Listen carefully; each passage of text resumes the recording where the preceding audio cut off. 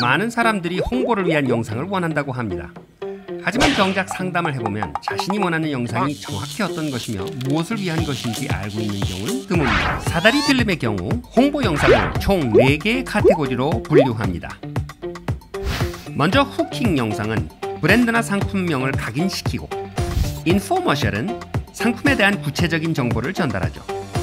리뷰 영상도 빼놓을 수 없는데 이는 소비자의 사용 후기가 중심이 되며 트레일러는 영화나 책 등 길이가 있는 컨텐츠의 내용을 압축 전달해서 흥미를 유도하죠. 한 개의 영상에 이 많은 것들을 다 집어넣으면 어떠냐고요? 안 봅니다. 길어서요. 자, 그럼 이 네 가지 종류의 영상에 대해서 좀 더 자세히 알아볼까요?